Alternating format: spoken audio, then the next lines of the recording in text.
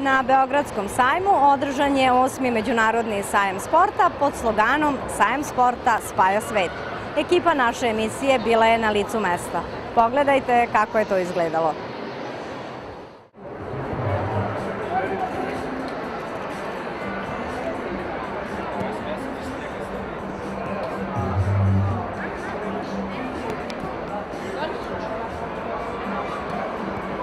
Ja bih vas prvo pozdravila u ime sekretarijata za sport i omladinu grada Beograda i čestitala ministru Udovičiću na ovako divnom sajmu. Ovo smo pripremili i nadam se da će biti odrađeno sa strane grupe koja radi ovaj projekat, da se vidi koliko grad Beograd daje novca i ulaže u svoj sport, svoje, svoje mlade. Mi se pritom bavimo i rekreativnim sportom, a što je najbitnije u, u, u istom nivou su i uh, deca sa posebnim potrebama i ljudi kojima je pomoć potrebna. Druga stvar, moram da iskoristim priliku da čestitam Atletskom savezu Srbije na dobijenom ovaj, turniru atletskom svetskom prvenstvu u atletici u Dvoranskom 22. godine. To je jedan od jako bitnih momenta što se tiče grada Beograda i beogradskog sporta. Zamenik gradonačelnika se puno borio da to bude Beograd, tako da smo srećni zbog toga. Mladi šampioni su, u, evo, tu su, Od njih očekujemo da budu veliki šampioni. Srbija je definitivno zemlja koja može da prikaže e, veliki broj najznačajnijih odličja koje su osvojili naši sportisti, a oni kao takvi stoje za primer svim onim mladim ljudima e, koji počinju i koji žele da se profesionalno bave sportom.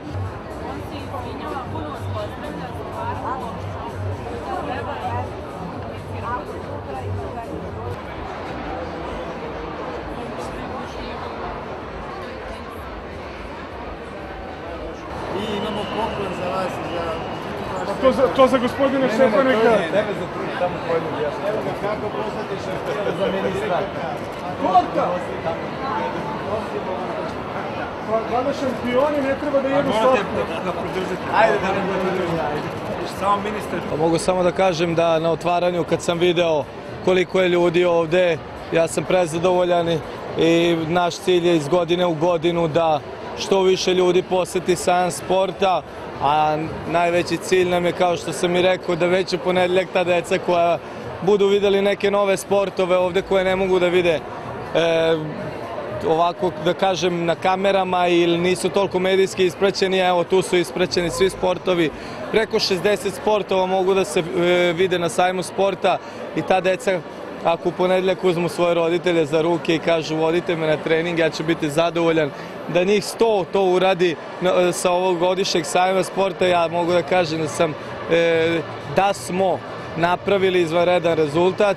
Zahvaljujem se Ministarstvu omladine i sporta zato što e, uz njih, bez njihove podrške ovo nikako ne bi mogli da organizujemo i jednostavno očekivanja su mi da, da se e, i mladi i stari e, druže jer sam sporta spaja sve i to je jednostavno e, da kažem neka veličina ovog e, sajma, pre svega, kao što sam i rekao, toj deci mnogo znači da kad dođu na ovaj sajam sporta upoznaju jednu veliku sportistkinju kao što je Milica Mandić i da ne nabrajam koliko njih imam, e, jer Srbija je zemlja šampiona i imamo mnogo šampiona i možemo da budemo ponosni na njih.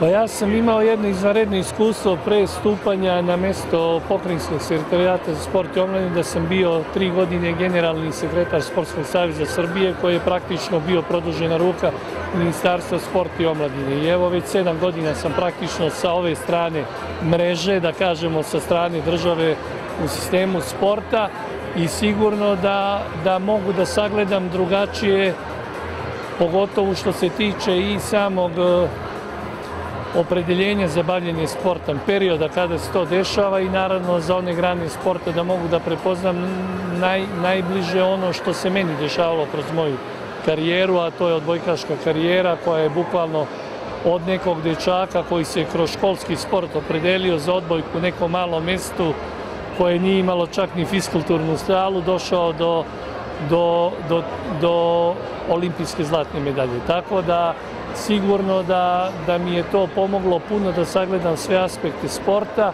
i naravno da se trudim s obzirom kako se država nama sportistima i odužila za najbolju moguću promociju države kroz naše rezultate u svetu, da dam svoj doprinos sa svojim iskustvom i svojim znanjem da bi neka buduća deca postali šampioni i naravno da sve aktivnosti vezano za promociju sporta na takav način apsolutno podržavamo. Tako da naravno da je odbojka kao sport meni najbliža, ceo život sam u njoj i naravno da i danas imam odlične odnose i sa Odbojkaškim savezom Srbije, sa kojima stvarno imamo vrlo blisku saradnju i trudim se u odnosu na vreme kojim raspolažem stvarno da im da maksimalno podršku za sve ono što je njima potrebno da bi stvorili neke buduće šampione.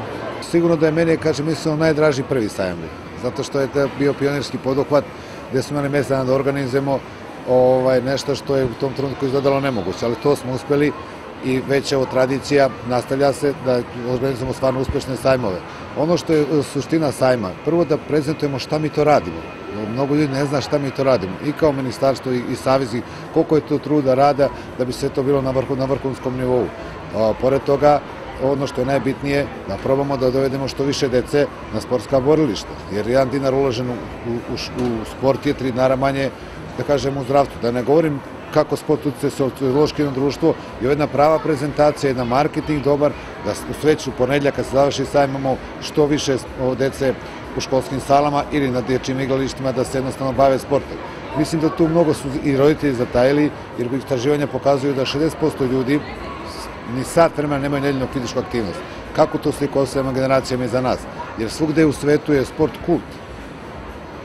To je prirodna, stvar, da neko odvoji sat vremena za sebe, za svoje zdravlje, za, za jedan relaks koji je naj, naj, najvažniji da bi tu organizam i sledeći dan bio, bio ovaj, aktivan i bi bio na pravi način iskorišćen.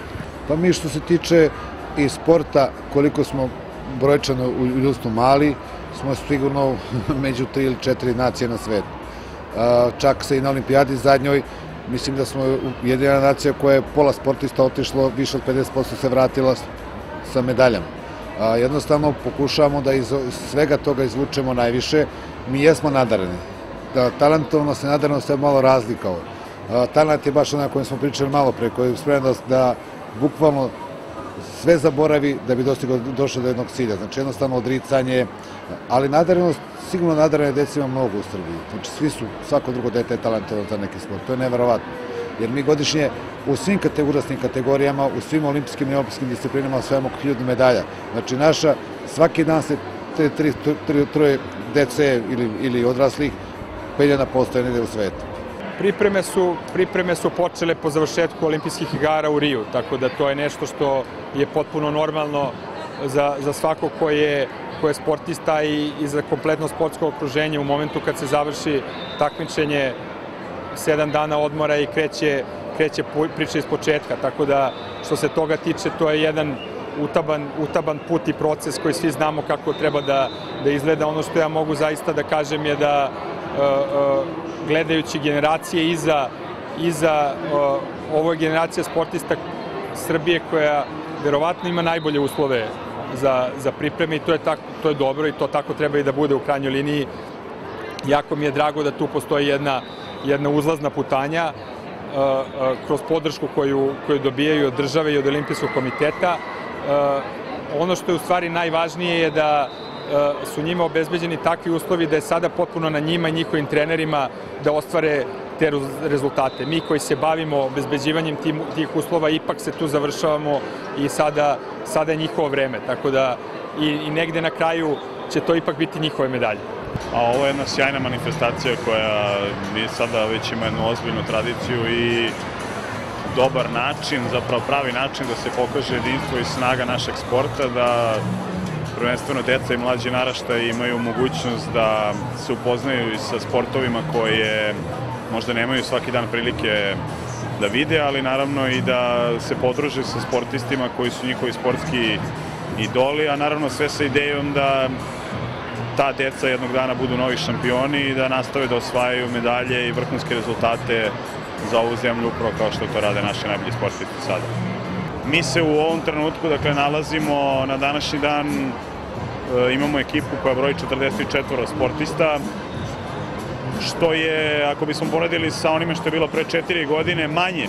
Dakle, u odnosu na, na, na isti period pre četiri godine. S druge strane, teško da bi se moglo uporediti, nije uporedivo iz prostog razloga što su međunarodne sportske federacije, odnosno veliki broj njih prešao na drugačiji model kvalifikovanja za olimpijske igre, na turnirski model i, model i prikupljanje poena, tako da ćemo praktično mi jedan veliki broj kvalifikovanih sportista dobiti nekoliko meseci pred olimpijske igre i naravno ukupan broj kvalifikovanih sportista će naravno najviše zavisiti od ukupnog broja kvalifikovanih ekipa.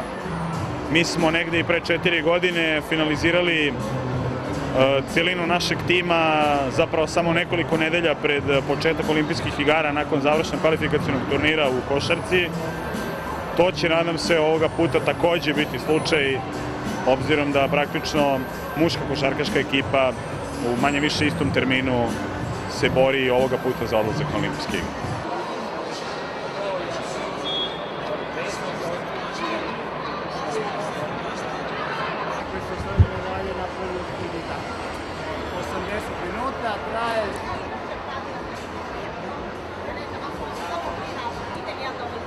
Ja se nadam da su rezultati koje naša reprezentacija u odbojci dovela do toga da vide tu lepu atmosferu koju smo stvorili i ženska odbojkaška reprezentacija i muška reprezentacija, pa bar jedno, dva, tri dečaka ili devojčice je došlo da gleda jer vide nešto pozitivno i kod nas u odbojci. Ako neko želi da se bavi sportom, treba prvo da počne da se bavi sportom iz ljubavi prema sportu, da u odnosu na svoje afinitete odabere sport kojim želi da se bavi. Tekvondo sport je vrlo pogodan i poželjan za mlađe uzrasne kategorije, naročito za decu, zato što može jako mnogo da utiče na poboljšanje fine motorike kod decu u tom razvojnom periodu. Nakon toga, tekvondo može da doprinese jačanju samopouznanja, jačanju samokontrole, discipline, što je jako bitno za, za pravljanje jednog dana velikog vrhunskog šampiona u starijim uzrasnim kategorijama. Bez discipline i bez posvećenosti poslu ne možete da daleko dogurate. Ja volim kad mi dođe neki talentovan sportista, ali bez rada talenat ne može da obstane. Biti ovde s decom je stvarno i lepo iskustvo i malo motivacija. Drago mi je što imaju priliku da, da probaju druge sportove, da se upoznaju sa sportistima, jednostavno da vide nešto što bi oni možda hteli da postanu jednog dana, da osvajaju medalje i baš mi je drago što, što, što mogu ovde da im pružim tu priliku, da im pokažem da popričam sa njima i da se slikam, ali mislim da je teže malo ipak biti u sali, na terenu, nekad i boriti se sam sa sobom, što je sasvim normalno ovaj, za sportistu, tako da, ali mislim to je sve sport, uživam u sportu, volim ovaj sport i uživam u svemu što ovaj sport donosi. Svakako posle 2012. da kažem, počela ta ekspanzija tekvondoa. Jednostavno došli su i stariji i mlađi i dosta dece, ali drago mi dosta devojčice krenulo na ovaj sport i mislim da smo tu, da kažem, žensku liniju ojačali malo nakon mene i Tijana Bogdanović, Ana Bajić, Vanja Stanković, jednostavno Nađa Savković, to su sve devojke koje su osvojile velike medalje i da kažem kreirali neki svoj put, ali nadam se da ćemo nastaviti istim takvim tokom, da i posle Tokija je dođe sve više dece na naš sport kao što mi imamo visoka očekivanja ovaj, na svakom takmičenju, tako znam da i drugi imaju, ali ispred nas je evropsko prvenstvo. Idemo sa dosta jakom ekipom, nadam se da ćemo napraviti dobar rezultat, najbolji ikada i nakon toga, su, nakon toga je Grand Prix finale, to nam je završni turnir za ovu godinu, da kažem, presudni za kvalifikaciju za olimpijske igre. Kad bi recimo sad rekli da 90% Kineza ne zna da pliva, to niko ne zna na svetu. 90% Kineza ne zna da pliva, a oni su malte ne vodeća nacija u vodenim sportovima, osim vaterpola, u skokovima, plivanju. Znači, oni su naučna istraživanja uspjeli ka tome i uspjeli. Sada mi kažemo kopirat ćemo Kineze. Teško je, ne mogu ni oni nas kopirati, ali oni idu po svijetu, ko što i mi treba oduzimamo sve što je dobro od Amerikanaca, Kineza, ali ima je nešto našo genetski ja mogu reći sa ove distance ne samo u futbalu, nego u svim sportovima, mi smo mala nacija, da imamo neku sklonost da pravimo šampione. Ja mislim da nema manje nacije na svetu, da više šampiona ima e, bilo kom sportu. Evo i nažalost u futbalu nismo na nekom visokom nivou, ali nadamo se da ćemo biti, ali svim ostalim sportovima. Znači da imamo i mi nešto drugo, nešto što drugi mogu od nas kapirati. Treba se na to osloniti pozitivna iskustva od drugih zemalja primjenjivati, ali držati svoj neki genetski kod, kako ga zovemo, jer pokazujemo da imamo talent.